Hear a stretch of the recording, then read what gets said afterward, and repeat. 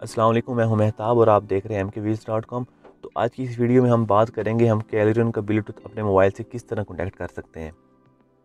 इसमें काफ़ी सारे लोगों को प्रॉब्लम आती है तो मैंने सोचा क्यों ना इस पर एक वीडियो बना देनी चाहिए। तो फ़र्स्ट ऑफ़ ऑल आपने जो आपको ये राइट साइड पर ये बटन मिलता है, इसके ऊपर लिखा हुआ है एस आर सी आपने इसे दबाना है बी टी पे आ जाएँगे आप इसमें और भी ऑप्शन हैं बड़े U S B bluetooth audio run लेकिन आपने बी टी पे सिलेक्ट कर लेना है। उसके बाद आपने इस बटन को दबाना है।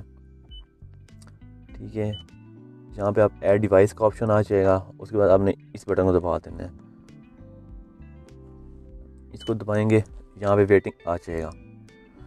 अपने अपने मोबाइल से मोबाइल ऑन कर लेना है जी। तो यहाँ मैं चेक कर रहा था। तो ये आपने इसका ब्लूटूथ ऑन कर लेना है।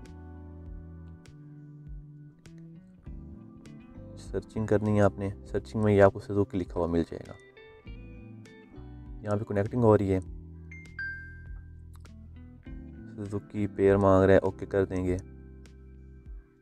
ये हो गया कनेक्ट ठीक है? उसके बाद जी आपने ये सामने तो अब हम चेक कर लेते हैं। तो जैसे कि हम देख सकते हैं कि